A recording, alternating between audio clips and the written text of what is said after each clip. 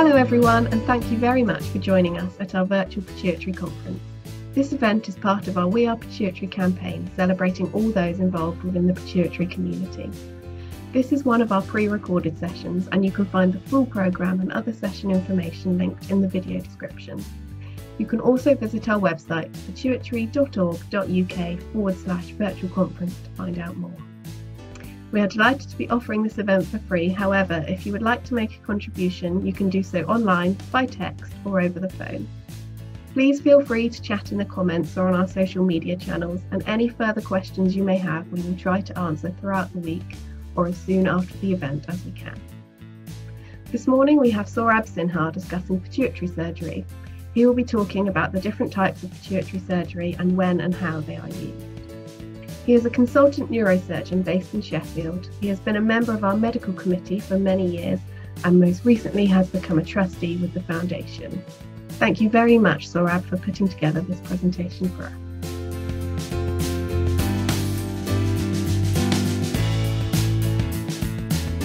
Good morning.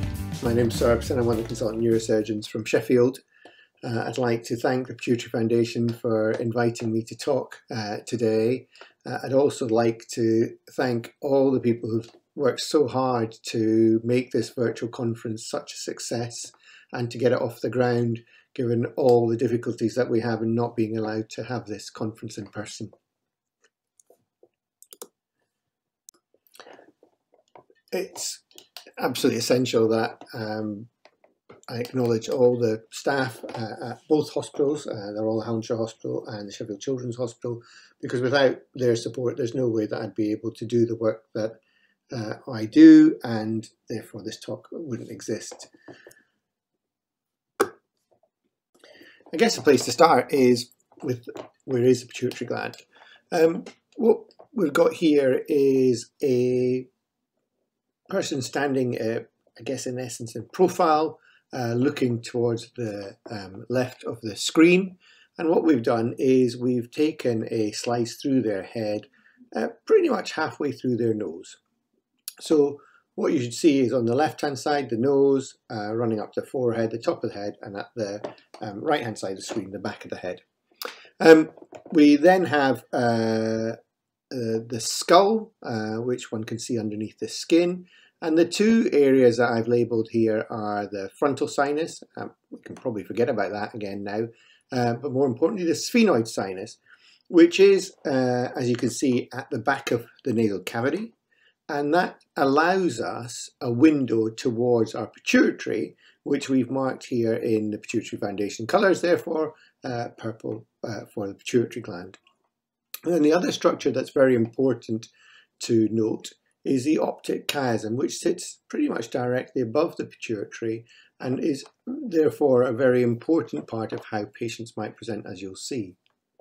Um, the brain uh, itself, uh, so the pituitary itself, sorry, sits underneath the back of the frontal lobe, which is part of the cerebral hemisphere. And then the rest of the brain up is made up of the brainstem and the cerebellum, both of which are marked on the picture. If we now go on to uh, the MRI scan, which is hopefully in the same uh, orientation, you can see that those structures have been equally labelled um, and you can see again the, the pituitary in purple with the sphenoid sinus just in front and below it and the optic chiasm above it. The image on view now is called a coronal uh, scan. Um, the insert shows what a coronal scan uh, looks like. In essence, the patient is staring at you, almost as if you're looking at a mirror. So the head is coming out of the screen. Um, and a slice is taken so that part, the front of the face is in front of the slice and the back of the head is behind the slice, as you can see on that insert. The other thing to remember is because this patient is uh, looking at you from the other side, the left ear is on the right hand side of the screen and the right ear is on the left hand side of the image. Um, so kind of flipped around as, uh, from what you would expect. Here again, we've labelled our lovely pituitary in purple. You can see the arrow going towards it. Uh, in, and then directly above it, as we've already seen on the other views, is the optic chiasm. So you can see how if you were to have a tumour in the pituitary region that started to grow upwards, it would squash the nerve division and therefore cause a potential problem with that. If we magnify that area, then hopefully we can see some of the other very important structures here.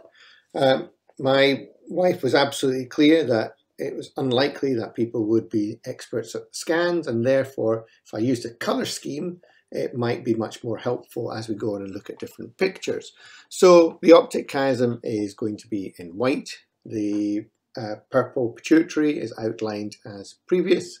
Um, and then on either side of the pituitary gland, we have a structure called the cavernous sinus, which is outlined in blue. And this is a structure in which you really don't want to go because it's full of uh, a venous plexus of, full of blood, but it also houses the carotid artery. So again, on the right-hand screen, the left carotid artery, on the right-hand screen, uh, on the left-hand screen, the um, right carotid artery. Um, and also um, some of the cranial nerves. Now, the cranial nerves here help to move the eye and the eyelid, and the two lower uh, ones, uh, all of them are in yellow, um, help provide sensation to the majority of the face. So clearly this is an area into which you don't really want to stray from a surgical perspective.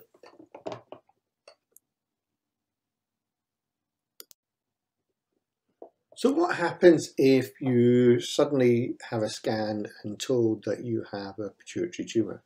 Well, first and foremost, most people panic because they're usually told that, not told that they've got a pituitary tumour, they're usually told that they've got a brain tumour. And clearly that conjures up all sorts of frightening uh, ideas.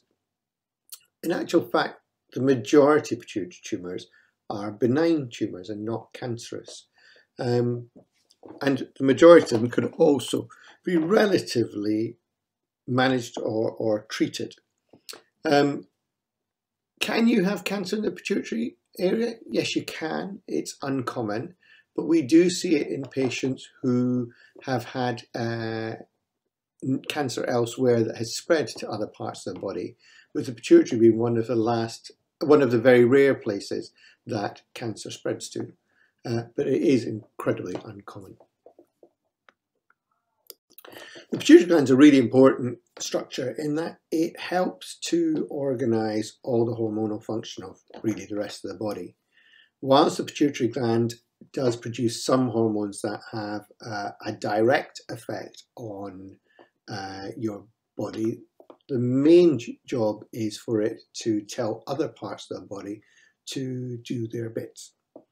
Um, so, for example, uh, the pituitary gland will tell uh, the thyroid gland to produce uh, thyroxine, or it will tell the adrenal gland to uh, produce cortisol. Um, and so, when it doesn't work properly, it starts to create problems. Pituitary tumours, in essence, come in two flavours they, those that produce uh, plenty of hormones and those that don't. Um, if we start with the functioning tumours, those that produce uh, excess uh, hormones. And the commonest one that we're looking at is a prolactinoma. And in these patients, you can uh, produce um, milk or secretions from the breast. Uh, in women, they may uh, stop having periods, which we call amenorrhea. And in men, what you may find is that uh, they describe a loss of libido or poor erectile function. Um, Prolactinomas are pretty much managed medically. It, they respond very well to drugs such as cabergoline or uh, bromocriptine, and therefore there's a very small role for surgery here, predominantly in patients who have um, difficulties with the medication or in whom the medication just doesn't seem to be working. The pituitary can, uh, pituitary tumor can produce too much uh, thyroid uh, stimulating hormone, so TSH-OMA. These are pretty rare, um, but will give you the symptoms of having an overactive thyroid, which can make you quite manic. Uh, they can cause problems with your pulse, making it fast and irregular. It can make you quite hot and sweaty, even though it, it isn't outside. Um, again, um, surgery is an option here. Uh, medical treatment can also be used, but these are fairly rare tumours. And again, I'm not really going to talk too much um, more about that. Some of you may well have a pituitary tumour that's producing too much ACTH and gives us a condition called Cushing's disease.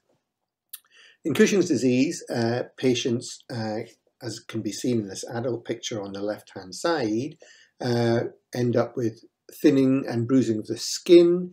They can get weakness of their arms and legs, predominantly because they lose um, muscle power and muscle bulk. Um, they end up putting up a lot of weight in the center of the, the, the body. Um, but then on top of that, more importantly, they have problems with high blood pressure and uh, diabetes, as well as uh, thinning of the bones, which we call osteoporosis. So clearly medical issues that really require us to treat Cushing's. It also occurs in children, although it's pretty rare. These are eight-year-old twins, and the little girl here you can see has uh, Cushing's disease. Others of you may have a pituitary tumour that produces too much growth hormone, and the condition here is called acromegaly. Um, growth hormone, as you can imagine, makes things grow. It doesn't just do that. But in acromegaly, what you can see is patients end up with much bigger hands and feet than they than would be expected. They can have an increase in size of their jaw and the nose. And so patients will may well complain of the fact that the rings don't fit their hands and they've had to maybe get them enlarged several times. Their shoes might be getting bigger, and they need a bigger shoe size. This, of course, should have stopped when they stopped growing as, a, uh, as they started into early adulthood. And one of the other uh, main complaints that patients often have is they're very sweaty and they snore. That's usually a complaint from their partner rather than themselves. Again, medical issues that that we worry about are acromegaly can cause problems with your uh, blood pressure, with diabetes, and can actually make your heart much bigger. Um, and therefore, again, it's a condition that really needs treatment. Um, as before, it can affect children. It's pretty rare, but it does occur. This is a young boy who's only nine years old. We can already see how tall he is in comparison with me. And when he was at school, aged four, he was already one of the tallest children in, in the school. Having discussed the, the functioning tumours, the, the tumours that don't produce hormones, as we call non-functioning adenomas, they actually make the bulk of the patients that we see from a surgical perspective. So at least three quarters of the patients that I've operated on have non-functioning tumours as opposed to functioning tumours. And the, the difficulty here is that some patients can have a non-functioning tumour and never know anything about it because it's not very big and it's not causing any trouble. As the tumour gets much bigger, however, it will start to interfere with the pituitary gland ability to function and will actually stop the pituitary gland from producing hormones and therefore none of the other uh, hormonal organs are going to work. And patients can then present with feeling tired, lethargic. Um, in gentlemen, you can find that they don't shave as often, they don't have as much uh, secondary hair in all the places you'd expect, and again, uh, difficulties with loss of libido. In women, you may well find that they stop having periods if they're of a, a appropriate age, uh, again, a condition that we call amenorrhea. However, the commonest reason for operating on a non-functioning tumour uh, is due to uh, loss of vision. As we demonstrated in the scans earlier, the pituitary tumour sits directly below the optic chiasm, and so any tumour that extends upwards to squash the chiasm will cause uh, visual loss, classically what's called a bitemporal hemianopia, which means that you can't see on either side. Many of you will have had your visual fields tested either at the hospital or an optician, and this chart uh, gives an example of what result you might have. So as you can see on the uh, left hand uh, side of the screen uh, is uh, a area that's black and on the right hand side of the screen you can see the right half is black. That is loss of peripheral vision in both uh, these eyes, giving you this classic bitemporal hemianopia appearance because of um, chiasmal compression. So we've got a tumour now. How are we going to approach this from a surgical perspective? The commonest uh, method that we use is called the transsphenoidal approach.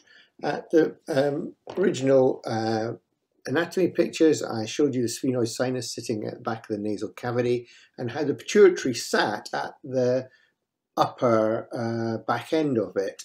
And so you can see with the arrow that there's a very nice route from the nose through into sphenoid sinus, straight onto the uh, pituitary and pituitary fossa without actually having to uh, en encounter any brain up front. It's, however, not a new approach. Uh, this is a, a, face mask of Tutankhamun. This is Kom Temple, which was built in 180 BC, and it's one of the specialist medical temples. And if we zoom in to the rock here, you can actually see the brain hooks and brain curettes that the Egyptians used to use to go up through the nose to break the bottom of the skull and to whip out the brain through there in order to have the patient the, the body prepared for uh, being mummified. So really something that has been happening for thousands of years. From a neurosurgical perspective, uh, pituitary tumours were done by going through the head. And we used to open the, the front of the head, go underneath the brain to find the tumour. Person who um, made it famous originally was Harvey Cushing, um, said to be the father of modern neurosurgery. Uh, and he moved from doing pituitary surgery through the head to uh, transsphenoidally. Um, and because he was the one of the world leaders, the whole world moved with him. However, he had a significant number of deaths, and about 50% of his patients died from infection, most likely meningitis. And therefore, Harvey Cushing actually stopped doing transsphenoidal surgery and went back to doing pituitary surgery through the head. And again, the whole world followed him. And actually, that's where our story would have ended had it not been for this man. This is uh, Professor Norman Dott, who's a professor of neurosurgery from my hometown in Edinburgh. And he had worked with Harvey Cushing, really liked the transsphenoidal uh, approach, and brought it back to Edinburgh, where he uh, used uh, some lights so that he could see up the nose. And by using that, he was able to do 120 of these operations without a single death. And so he helped to rejuvenate the transsphenoidal approach. So we, here we have uh, another one of these coronal scans uh, with a patient who has uh, visual loss. You can see on uh, the screen uh, on the uh, right hand side that I've outlined the pituitary tumour in purple and the optic chiasm in white. And you can see how the tumour is extending upwards to squash the chiasm and therefore give this patient a visual problem and require surgery um, in order to uh, try and resolve this. The traditional classical method would be using a microscope. You can see here how the uh, surgeon has a microscope passing light down through uh, the nose, usually via a speculum, and then can pass the instruments down the speculum, uh, guided by the microscope light, to the tumour in order to remove it. Now we can see after surgical treatment, again on the right hand side. So the, on the left we've got uh, the tumour beforehand. On the right you can see how the, the tumour has been removed and the purple outline now really is probably just what's left of the gland. But the chiasm is now in a much more normal position and is much more, much thicker in caliber, suggesting that we've decompressed it and hopefully restored vision to normal.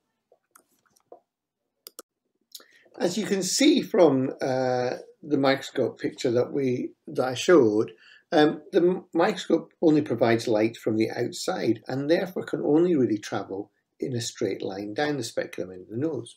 What happens if your tumour now is not just in front of you, but extends not just upwards to squash the chiasm, but also out towards the side. So in this case, we can see we the uh, purple outline tumour not only extends upwards to squash the chiasm. Again, we can see in white it's smaller caliber and being squashed, but it's also extending out into the left-hand uh, side, uh, into the cavernous sinus.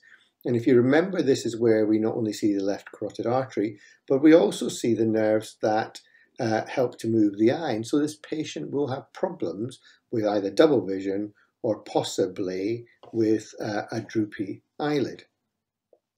And this is where we find the benefit of uh, using an endoscope.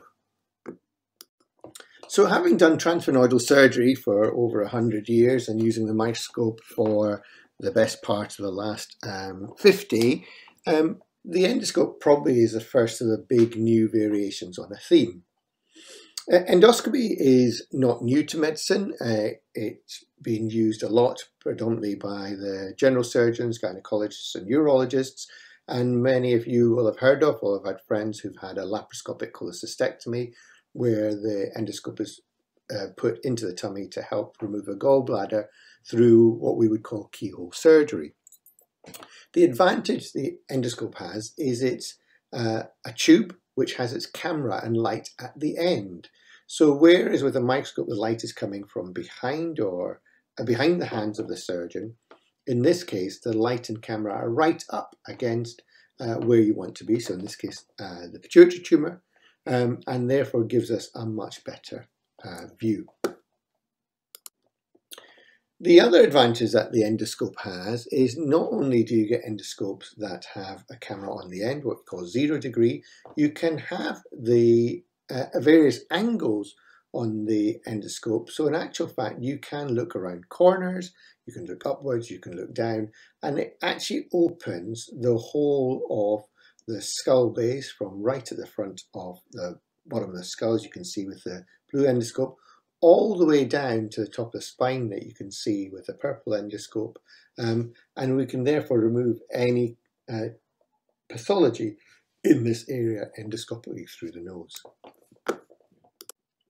So in our patient here, you can see on the right hand side that the chiasm has now been decompressed and uh, it has regained its normal caliber.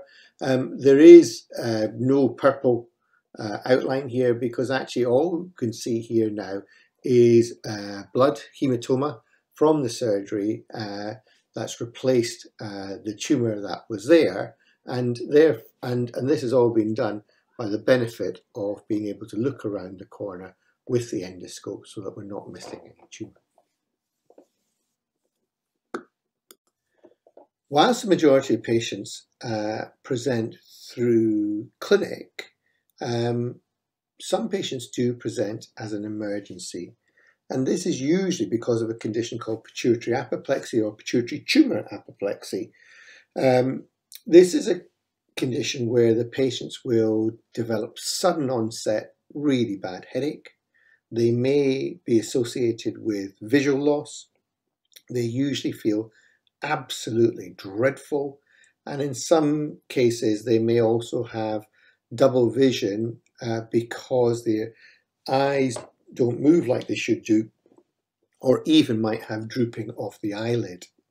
And the reason this occurs is because they may or may not know that they've got a pituitary tumour, but the pituitary tumour has had a stroke like event.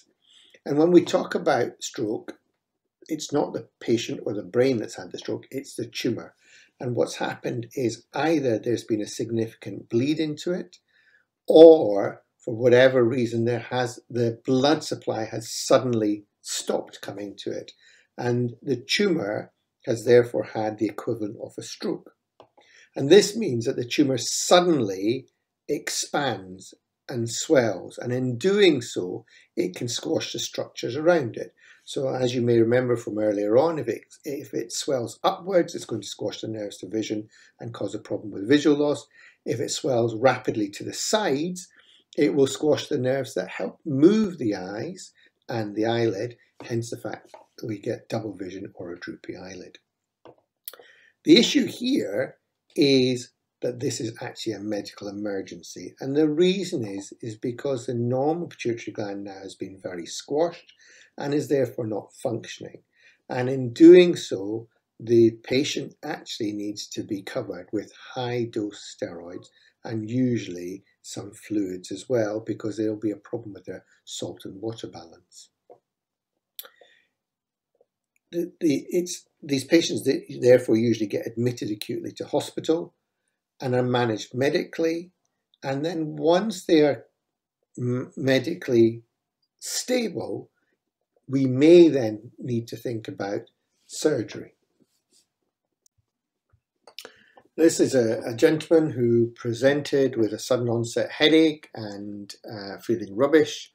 He had a significant uh, impact on his vision, such that his visual acuity, so his ability to see distance, was very poor, and he had a, a bitemporal hemianopia. He also had some difficulties with moving his right eye with some drooping of the right eyelid.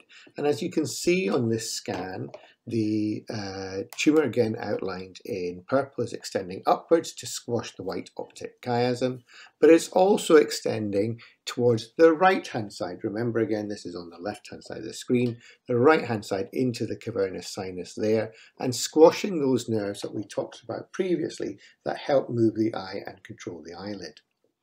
So having admitted him, as we've discussed earlier, uh, and treated him uh, as a medical emergency with fluids and extra steroids, we were then thinking that he was well enough for us to do surgery.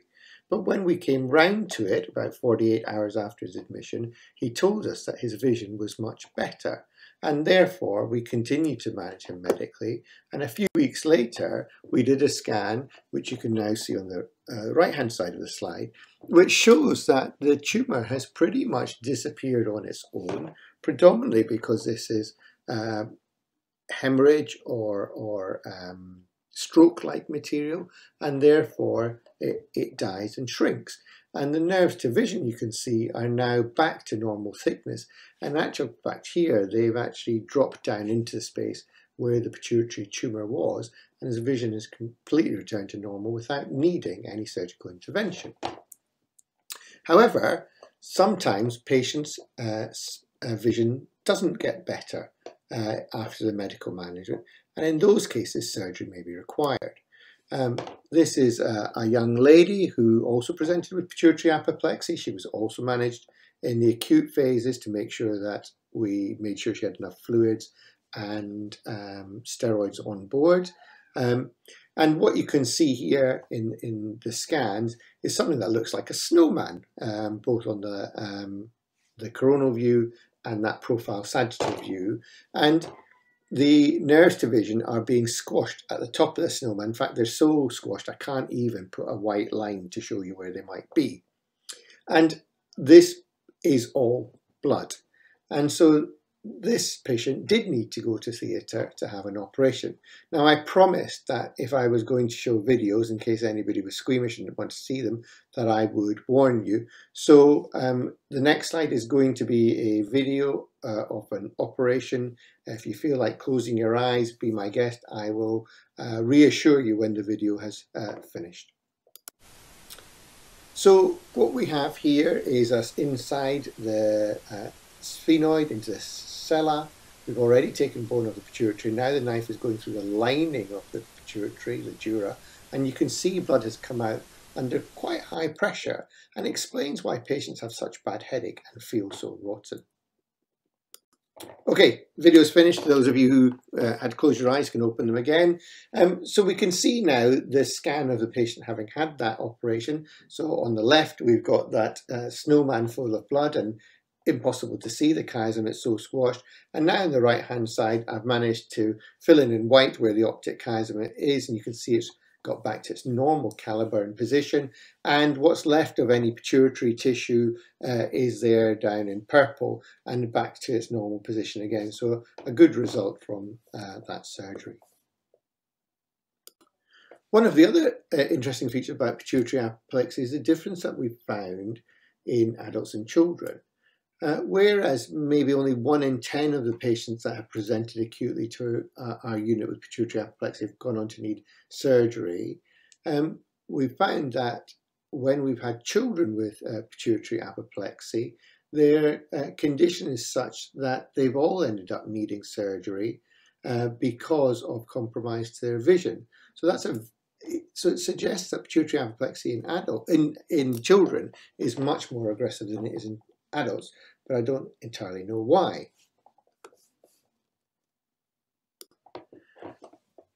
Whilst adults with, with non-function tumours uh, have an easy way of presenting, either with hypopituitarism or um, visual loss, it's a lot more subtle in children. And one of the first things that children with pituitary tumours have is a decrease in uh, their actual growth. Um, one of the difficulties here is children are all different shapes and sizes, as you can see from the three children uh, in the photo here. Their uh, picture has been uh, reproduced with permission from their from them and their parents, um, but all three have got pituitary tumours. So how do you know that they're not growing as well as they should do? Well, it can be quite difficult and often means that it takes us longer to pick up a pituitary problem in a child. It does, however, help if you have a twin. This, these twins, as you can see, are identical at birth, remained identical uh, when they were about two. But here at four years old, the, this young man is now slightly stockier than his brother. He's actually not as tall, although you can't tell because of the angle of the picture. And he doesn't have as much energy as his brother. And because he's got an identical twin and they've been the same, this allowed mum and dad to pick up very early on that there was a problem with one of their children. And rather than a delay of several months or even several years before a problem was picked up, uh, we actually picked, they actually picked up that there was a problem with their child. Within three months of that, he had a diagnosis of an abnormality in his pituitary, which we've then gone on to deal with. Uh, the other difficulties with uh, children is the anatomy. Whereas in uh, adults, we have this beautiful sphenoid sinus, which allows us very good entry towards a, a pituitary uh, tumour. In children, the sphenoid sinus isn't very well developed until they're much older. And therefore, you can see that it's not easily an approach that one can use for pituitary tumours in small children. Here's an example of a young man who has a um, pituitary region tumour. This is actually a craniopharyngioma. And you can see from uh, that he's quite a young man and his sphenoid sinus is very small. And it's going to be very difficult to deliver uh, a tumour through that sphenoid sinus. And equally, the, the, this tumour is likely to be quite calcified and therefore actually bringing out big pieces of what in essence are uh, calcium rocks is going to be very difficult through the nose and therefore we have to think of another approach. Uh, and so rather than going up through the nose, what we've done in this child's case, we've opened his head. We've opened his head by going through his eyebrow. And that's allowed us to uh, take a trapdoor of bone away here, get underneath the brain and attack the tumour in the same way that Harvey Cushing would have done all those years ago. Fortunately for both patients and surgeons alike, pituitary tumours, pituitary tumour surgery is usually pretty um, successful with uh, little in the way of complications. However, uh, we need to be open and honest and be clear that actually complications can occur. Anybody who has a general anaesthetic has a risk of a clot in the legs or a clot in the lungs, a chest infection, or even the small possibility of a heart attack. But this is the same for any general anaesthetic procedure.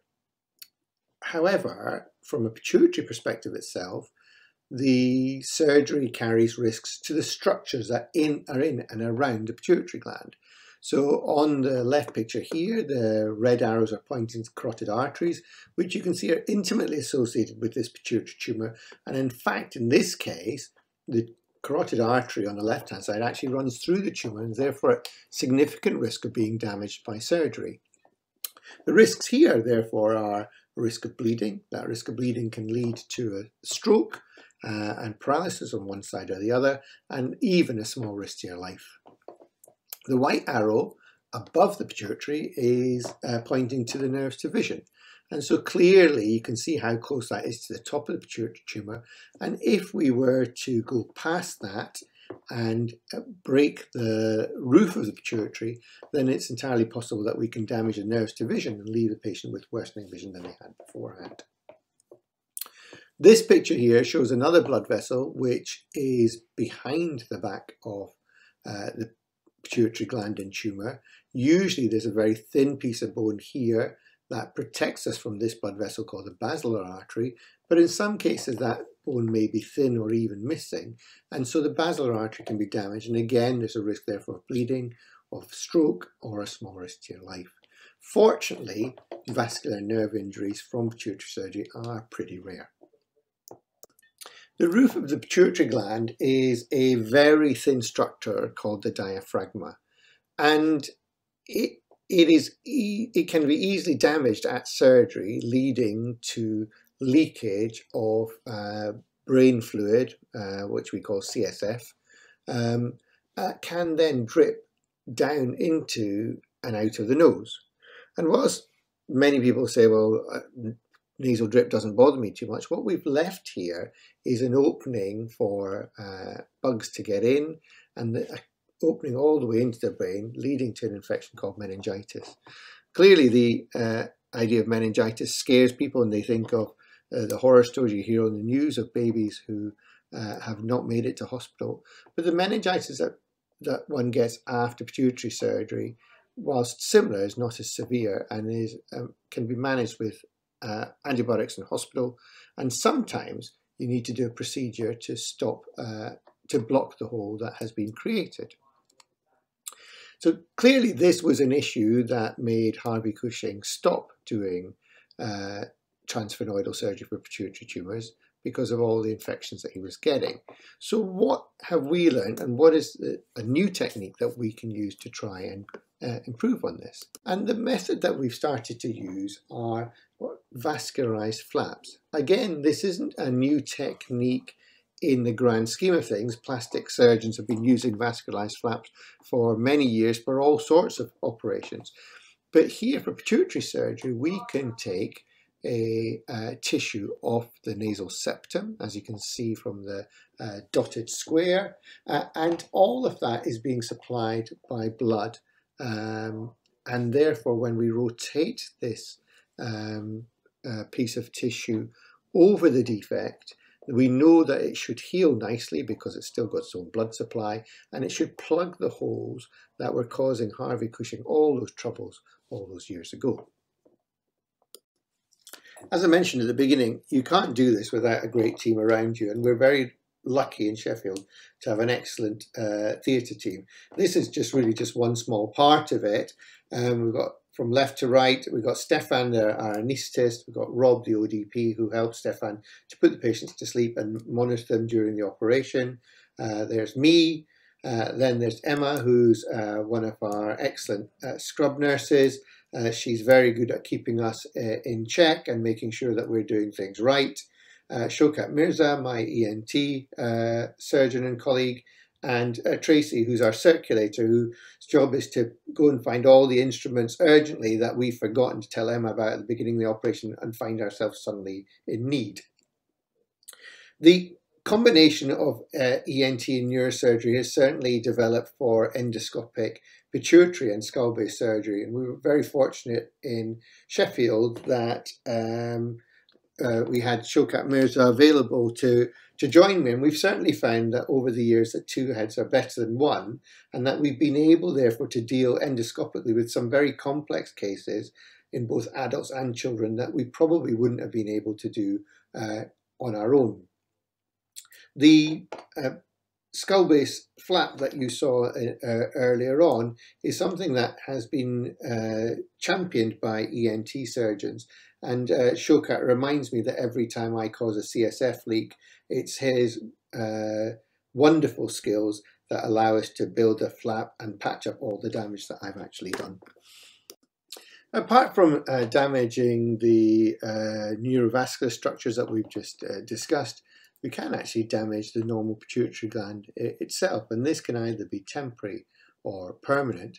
And one of the ones that uh, some of you may well have experienced is a condition called diabetes insipidus. This occurs when there's damage to the posterior pituitary gland uh, or the stalk uh, at surgery and leads to patients uh, becoming incredibly thirsty and needing to pee buckets both day and night uh, and can be really quite an unpleasant uh, experience and therefore needs uh, some form of treatment. And this is where, again, we as surgeons look for help and we can't do any of this work without the amazing input from my endocrine colleagues. So on the top row there, uh, these are my pediatric endocrine colleagues and on the bottom row some of you may recognize uh, the endocrine consultants uh, who help to deal with the problems that I've created from a hormonal perspective, without whom, again, I couldn't do surgery, and actually many of you wouldn't be as well as you are in the audience here.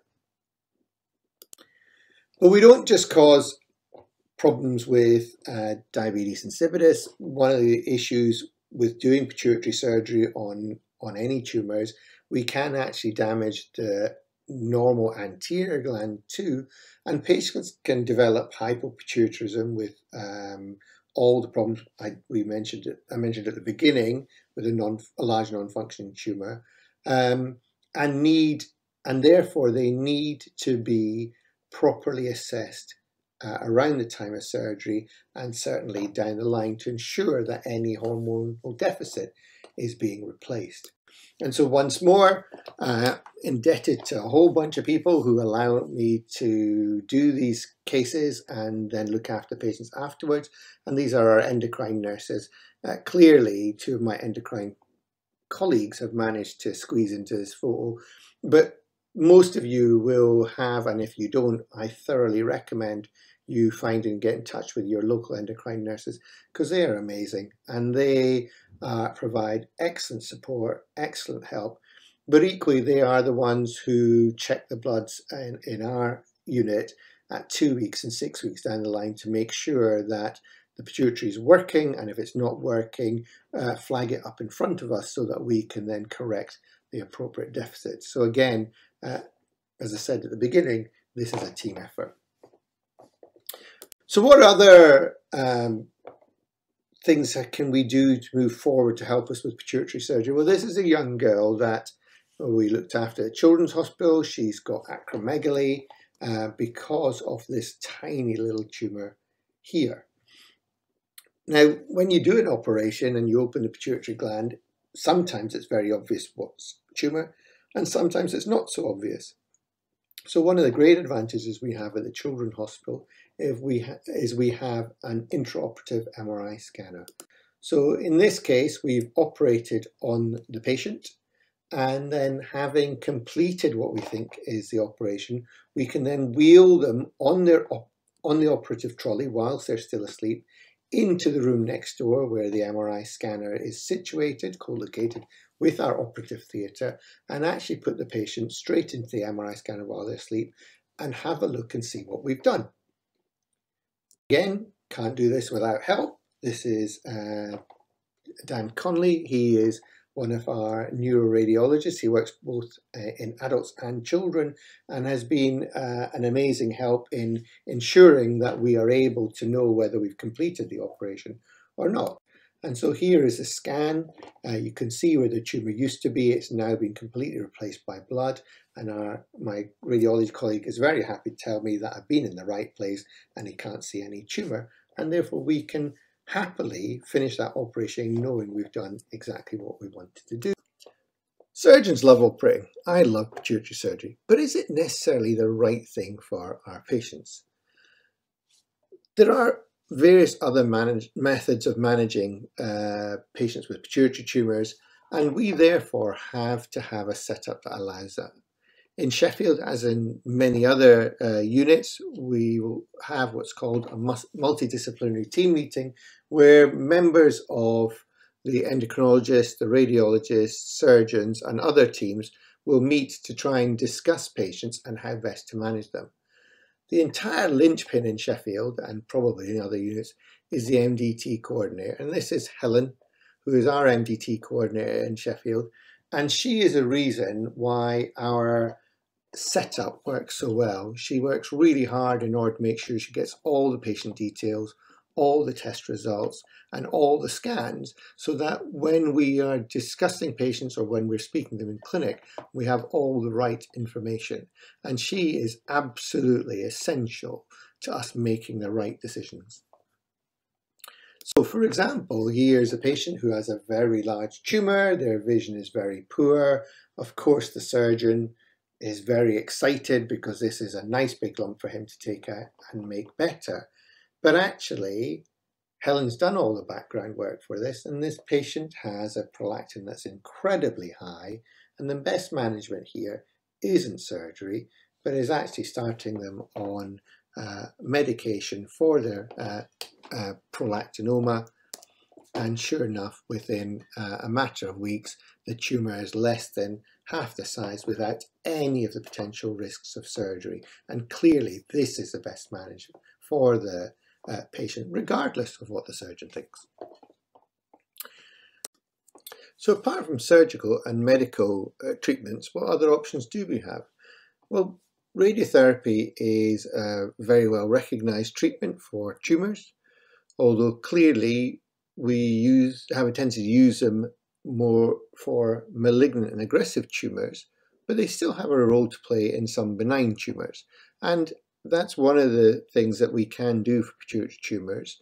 Um, and here we've got a picture of um, our uh, pituitary oncologist. This is uh, Lynn. She wouldn't give me a professional photo uh, and only wanted us to have a photo of her diving, predominantly because a mask covers her face. So here we are. Um, the, the, the aim of radiotherapy is to provide um, radiation to the abnormal tissue i.e. the pituitary tissue, whilst uh, not delivering much radiation to the surrounding area. And therefore you can give this on a daily basis, Monday to Friday for a few weeks, with the hope and expectation that the normal brain will recover in between uh, radiation uh, doses or fractions as they're called, whereas the tumour will uh, continue to be hit and therefore slow it down if not shrink it entirely. But apart from conventional radiotherapy, we also have the option of using a more modern uh, type of radiotherapy called uh, radiosurgery. Uh, and this uh, is something that we in Sheffield are uh, very fortunate to uh, have. The Gamma Knife Radiosurgery Unit in Sheffield has been present since 1985 and therefore has more than 35 years of experience. Um, it was the first in the UK and remains the largest uh, and is actually, in fact, one of the one of the three or four largest in the whole of the world. Gamma knife radiosurgery uses um, 192 beams of uh, of small dose radiation, which together, when they coalesce in the one point, uh, give a large dose of radiation to a small area. In this case, into our pituitary tumour. The advantages it has is it clearly doesn't require surgery, despite the word knife in the um, title, um, and therefore there are none of the risks uh, from a surgical procedure. However, in order not to damage uh, the rest of the brain with uh, beams of radiation, the target can only be less than three centimeters. And it also has to be a away from very sensitive parts of the brain as the radiation spill will potentially damage them. So here again we can see this um, uh, scan that we've seen several times through the talk. Um, I uh, hopefully now you recognize that the purple line is covering the pituitary tumor, the red is the carotid artery, the white is the optic chiasm, which is being squashed here on the left-hand side. And this tumor is more than three centimeters in size and therefore uh, is not suitable for stereotactic radiosurgery. The other issue with it is it's the tumor is intimately associated with the optic chiasm and therefore there is no gap and the, the chiasm is therefore at risk of damage from the radiation that you might give. Not only that, if one looks at the picture on the right hand side, um, you can see as before that the tumour is extending into the, the left hand side in the cavernous sinus as we've discussed before, but the back of the tumour is incredibly close to and uh, touching the brainstem. And this too is a very sensitive structure and therefore uh, any radiation overspill will damage the brainstem with long-term complications for patients. So again, that location um, is prevents a radiosurgery from being an option in this case. This is a much more appropriate tumour uh, for a gamma knife. You can see the tumour is small. It doesn't actually go anywhere near the optic chiasm, so actually there isn't necessarily a big role for surgery here, but the patient's quite troubled because the tumour is extending beyond the carotid artery, which circled in red, into the cavernous sinus and is squashing the nerves that move the eye, giving him double vision. So surgery could be done here, but there's a real risk to that carotid artery. And rather than take the that risk, what one can do is just give gamma knife to that area, safe in the knowledge that we're well away from the optic chiasm, the tumour is less than 3 centimetres, and we should therefore be able to reduce the size of this tumour without causing any harm to any of the important structures. Clearly, there is a risk to the uh, normal pituitary gland, which is sitting to the to the left of this, as um, uh, and the therefore there is a risk that the patient will develop hypopituitarism sometime over the next uh, few years, even up to 20 years down the line. Um, but it, it's uh, a much smaller risk than a surgical procedure would be in this area, and hence um, these are the sorts of patients that we would refer for gamma knife radiosurgery. I hope that so far I've managed to provide for you an overview of um, the aims of pituitary surgeries, the why and the how, uh, also how we minimize complications using these new flaps, uh, as well as um, endoscopy and its role in uh, dealing with more complicated tumors and also some of the more new imaging techniques such as intraoperative MRI scan which allows us to maximize resection and then finally uh, not only using uh, conventional uh, radiation treatments but the more modern uh, versions in the form of radiosurgery. I, I because I've not been able to uh, give this talk in person, I, I'm not really able to take questions. Uh, and so uh, I have um, got the last and, and, my favorite and specialist of all specialists to try and come up with uh, some common questions that uh, patients might ask or want answered. How many days in hospital? When can I work?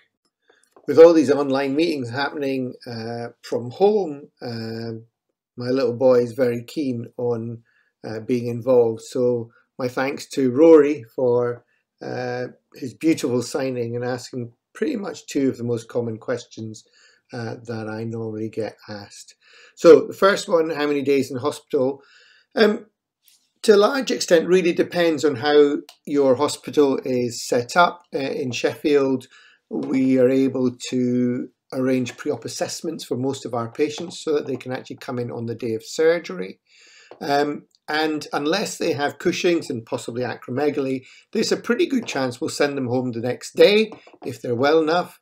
Um, clearly, if they're not well enough, there are any complications, we'd keep them in for longer. But the majority of our patients now are able to go home the day after surgery. Patients with Cushing's often end up staying in for a couple of days longer uh, because we want to uh, make sure that their cortisol levels are low enough that we've uh, done uh, the job that we came in to do. Uh, because if we haven't, we may uh, take them back for a further operation in order to try and get their Cushing's into remission. Um, the second question, uh, when can they go back to work? For the majority of people having pituitary surgery, most of them feel that they are pretty much back to a, a state where they can go back to work about six weeks down the line. Um, again, Cushing's patients often uh, aren't in that category. They often feel pretty um, rubbish, uh, whether or not they're in remission, uh, and I think they, they often take longer. I have had patients over the years who, um, e even at six weeks, didn't feel ready for work and, and, and maybe off for three months or even longer.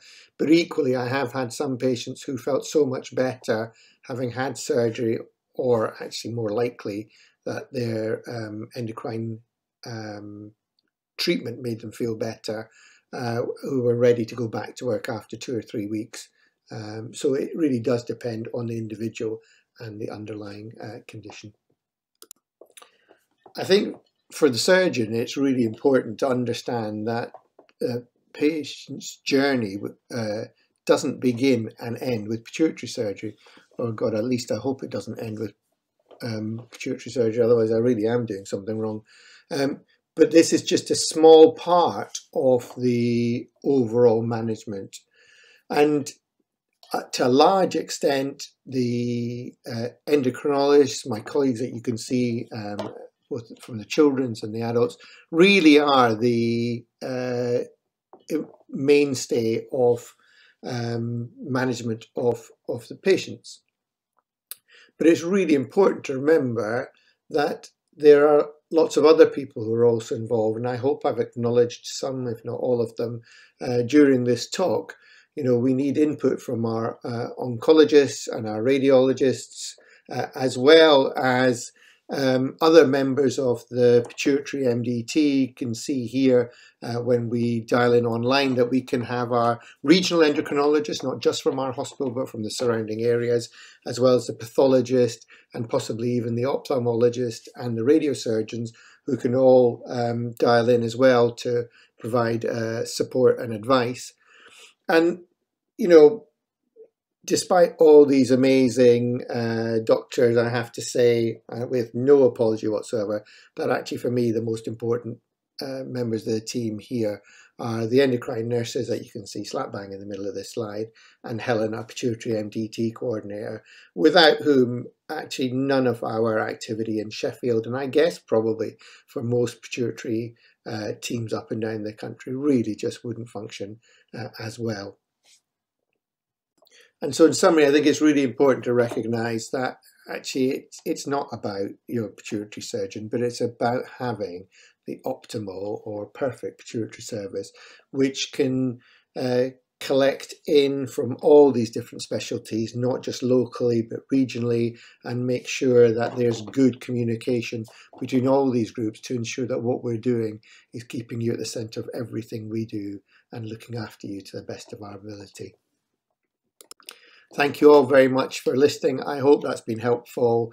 Um, I um, am happy to accept any questions uh, through uh, uh, Pat um, or any other members of the Pituitary Foundation, and I'm happy to reply uh, whenever I can. And thanks again to the Pituitary Foundation uh, and all those people who've done all the hard work uh, to make this event such a success. Thank you very much.